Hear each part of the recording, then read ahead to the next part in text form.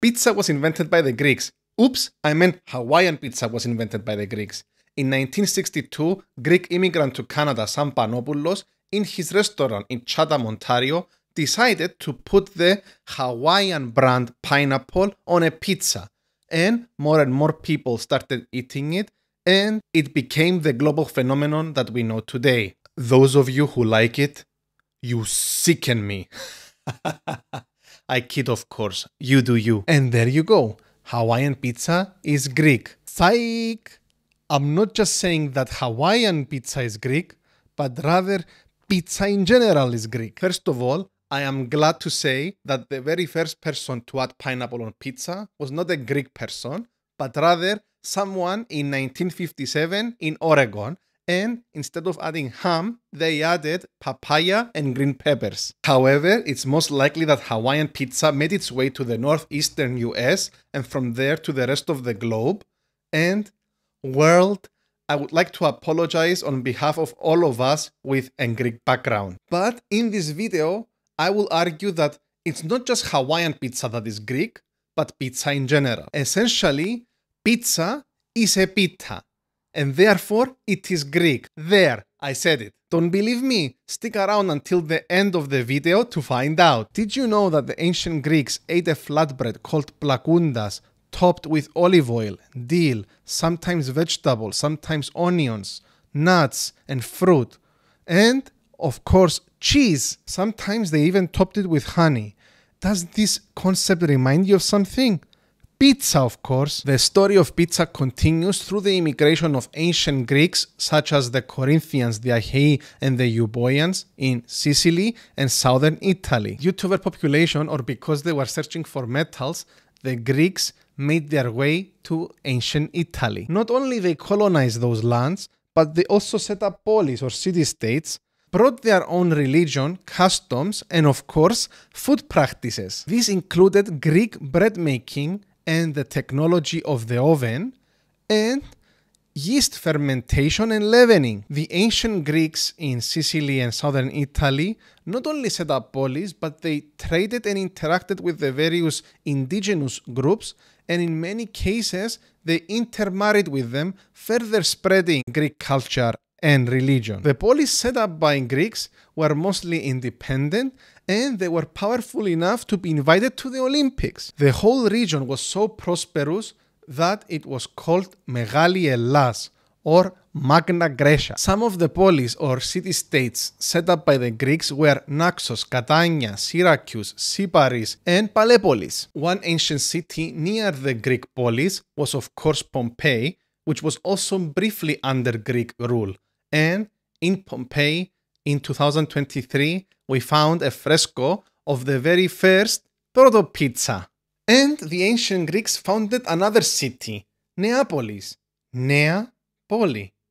Napoli, Naples, the birthplace of pizza, was founded by ancient Greeks. We will talk about Naples a bit later in the video, so stay tuned. As late as 300 BC, the Romans were called gruel eaters, and if they ever ate flatbreads, that was rarely. Pliny the Elder believes that the art of bread making was brought in Italy by the Greeks. Pliny also doesn't recall professional bakeries before the Third Macedonian War, and when bakers did start opening up shops in Rome, they were mostly Greek. Why are all these so important?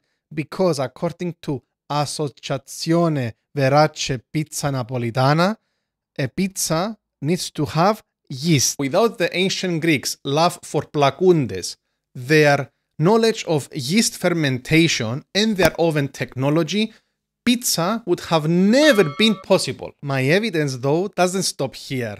As the great historian Edward Gibbon argued, Naples, which has swelled to a great and populous capital, long cherished the language and manners of a Grecian colony. And indeed, Naples continued having a Greek character and culture up until the 8th century AD, and multiple territories of southern Italy were under Byzantine control for way longer. Today, most of the people from Naples, southern Italy, and Sicily, when they do those DNA tests online, they find out that they're at least 10% Greek, and sometimes they're 30% plus Greek. And These figures are coming from 2024 when the Greek lineage has been diluted for 300 years. Still not convinced? The very first mention of the word pizza comes from a document that was written in the 10th century Gaeta, which belonged to the Byzantine Greeks. Why is this important? According to the Oxford English Dictionary, the word pita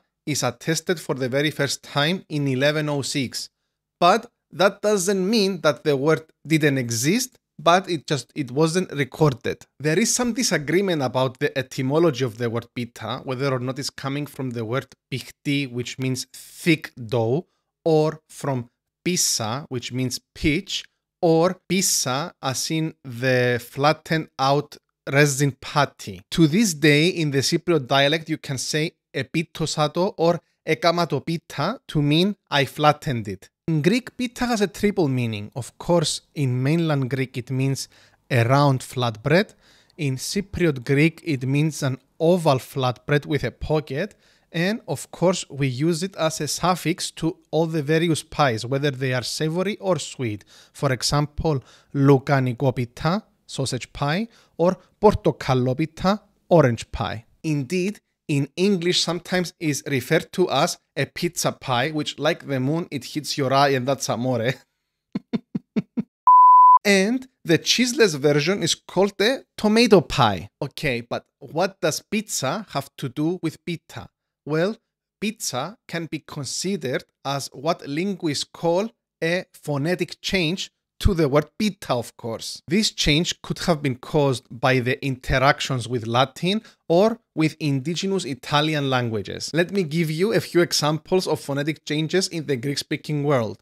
In mainland Greece, the word has is pronounced as echi, as opposed to Cyprus that is pronounced eshi. Same goes for the word for and, ke, which in Cyprus is pronounced je.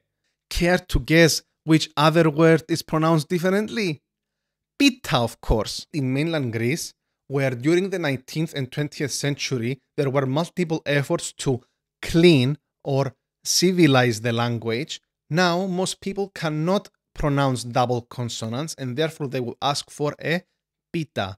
Whereas in Cyprus and in a lot of the islands, you could hear people ask for a pita. So, if the same word has two different pronunciations within the Greek speaking world, couldn't it have yet another pronunciation in what used to be part of the Greek speaking world? And there you have it. Neapolitans are the descendants of ancient Greeks who not only brought their DNA to Italy, but also their oven technology and their mastery of fermentation. So, not only genetically, historically, but even linguistically and etymologically, the word pizza comes from pita and therefore is Greek. This video was very fun to make. But I do recognize that pizza is of course Italian. Without the Italian explorers finding the new world, the tomato would never have made it to Europe. And without the Lazzaroni, the Neapolitan poor, being so desperate and hungry that they tried tomatoes before everyone else in Europe, pizza would not have been possible, and therefore pizza is Italian. And if you're gonna play the origin game, ancient Greeks did not invent bread making, but they learned it by trading with the ancient Egyptians. And even they were not the first to make bread, but rather it was the Natufians 14,000 years ago who made a version of a flatbread, a pita. Does that make pizza Natufian? I don't think so. Footies, what did you think about this video? Is pizza Greek? Italian? Maybe American? Let me know down in the comments. And if you enjoyed watching this video, maybe watch any of these videos here on Italian food. Until the next time, bye!